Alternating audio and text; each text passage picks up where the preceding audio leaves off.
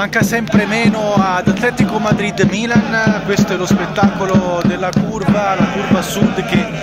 è avvenuta qui a Madrid sia nella giornata di ieri sia nella giornata di oggi per incitare la squadra di Stefano Pioli, per incitare i rossoneri, per tentare il colpo qui a Madrid perché serve solo una vittoria, serve solo vincere per quanto riguarda i rossoneri, ma ovviamente c'è lo spettacolo della curva che continua a cantare, sta invadendo praticamente tutta Madrid eh, per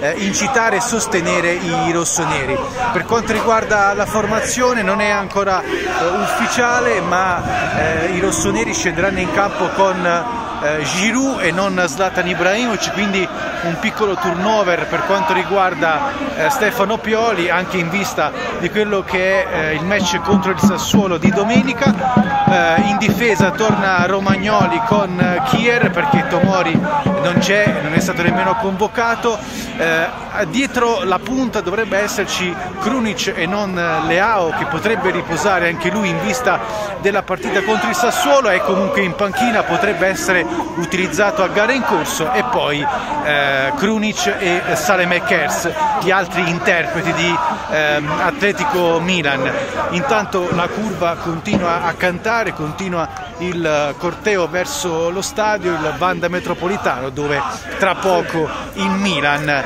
affronterà l'Atletico Madrid eh, in una gara in cui deve solamente vincere.